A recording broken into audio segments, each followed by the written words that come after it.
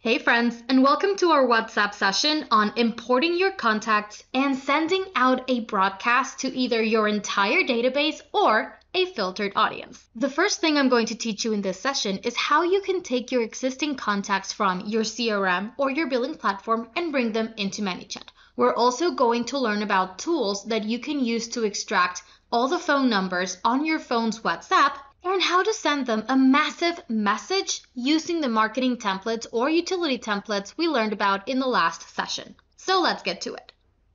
Inside of ManyChat, you're going to find that on the left hand panel, you're going to see a little person. This is the contact section. If you have connected your WhatsApp channel, you are going to automatically see the import button over here. Let's click on it and see what happens. So in order to import contacts into ManyChat, I have to select a CSV file containing the contacts to import into the platform.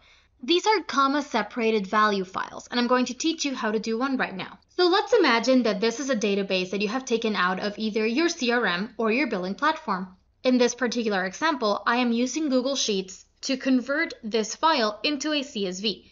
We're going to click on File, Download, and download as comma separated values.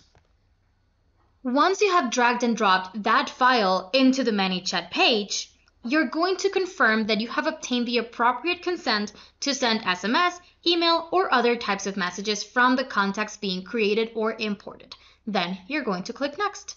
ManyChat is going to automatically recognize all of the columns on your file and give you the option to import them. I'm only going to import three of these columns, being the full name, the WhatsApp ID, and the email for the user. You're going to click Next, and you are given the option to add a tag to this segment that you are uploading. I highly recommend that you name it the date that you're uploading it and any other information that is going to help you find this segment of your audience quickly and easily. Last but not least, we're going to click Confirm Import. The problem is, I don't have a CRM and I don't have a billing platform. What I do have is WhatsApp on my phone, and I kind of need to talk to everyone that I have on it right now with WhatsApp API. How can I take that existing contact list and put it into ManyChat? Well, here's where things get a little bit tricky. As of today, WhatsApp's API does not have a native way in which we can take the existing contacts and put them into any third party platforms. Thankfully, some tech savvy people have created bridge tools that you can utilize to extract your contact list from WhatsApp.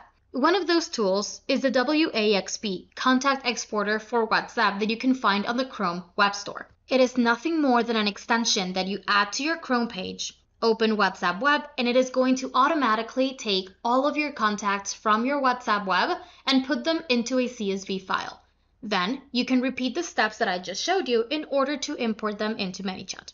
Keep in mind, tools like this one are not officially approved by Meta, nor are they officially approved by ManyChat to use. So now that we have done that, let's go in and create a WhatsApp broadcast. Next, you're going to go into the arrow icon and click on Broadcasts.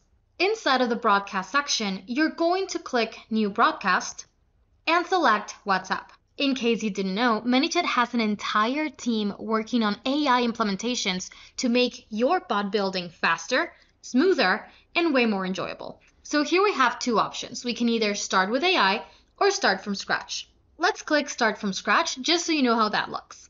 One of my favorite features about the broadcast interface is that you can either select an existing template or you can compose a new message, be that utility or marketing templates for your broadcast. In this case, we're going to select an existing template. Now that we have selected the template that we want to send out, let's pick who is going to get this broadcast. You're going to click here where it says target audience, and you will be shown the total number of contacts that you already have on your WhatsApp list. If you wanted to create conditions to segment this further, all you have to do is click condition. And let's say we only want to send it to people who subscribed before the 1st of July. This is going to update the amount of contacts that are going to receive this particular broadcast. You can even filter by tags or any other user fields that you have created on your automations before. So there you go. That's how you import your contact list and send a broadcast. On our next lesson, I'm going to teach you how to create evergreen marketing campaigns that you can have living on your automations perpetually See you there!